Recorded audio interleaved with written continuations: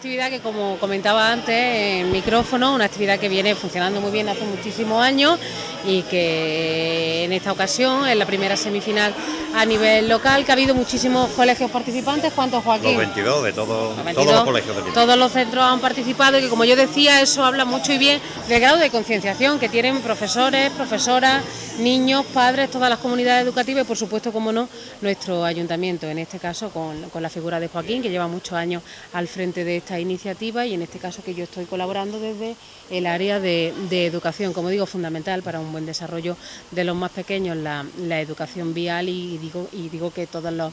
centros educativos pues efectivamente están concienciados de esa, de esa necesidad y de esa importancia y eso es lo que hace que cada vez se, se impliquen más en todos los sentidos y que cada vez la participación sea, sea más numerosa. Como digo, hemos tenido la primera semifinal y hemos quedado ya emplazados para el 8 de marzo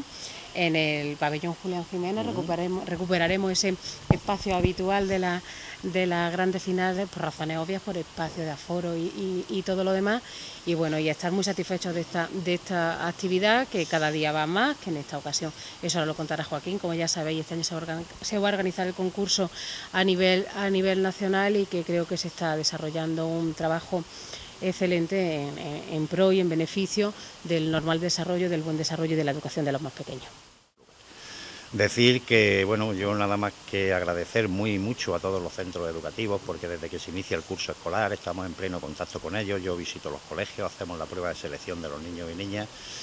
y desde primero de curso tienen todos y todas, los niños y niñas de sexto de primaria tienen una página donde tienen los contenidos necesarios para poder llevar a cabo el desarrollo del concurso y que vayan adquiriendo conocimiento de educación vial, que tan importante les va a ser el día de mañana. Eh, decir que es una educación en valores que es fundamental, de verdad, para el desarrollo y crecimiento de los niños y niñas en el comportamiento en la calle como peatones, como usuarios de vehículos y como conductores, en algunos casos de bicicletas, sobre todo porque la edad que tienen es para conducir bicicletas. Que sepan desenvolverse y que sepan los peligros que entrañan la vía pública en materia de vehículos y de tráfico se refiere. El 8 de marzo tenemos la final local en el pabellón Julián Jiménez, en el mes de abril a primeros de abril también desarrollaremos, ya estamos en contacto con todos los municipios de la provincia para poder hacer el tercer concurso provincial. Y del 3 al 6 de mayo se van a desarrollar unas jornadas de seguridad vial que no solo va a ser el concurso a nivel nacional, sino que vamos a hacer unas jornadas de concienciación también para alumnos y alumnas de mayor edad, de secundaria, de bachiller, para que tomen conciencia del tráfico, habrá charlas, coloquios y desarrollaremos el primer concurso a nivel nacional que ya estamos en marcha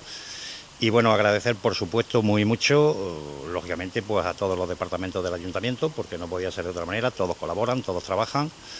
al grupo Fácil Auto, a la DGT y a la Consejería de Educación de la Junta de Andalucía. Y al Centro de Formación del Profesorado.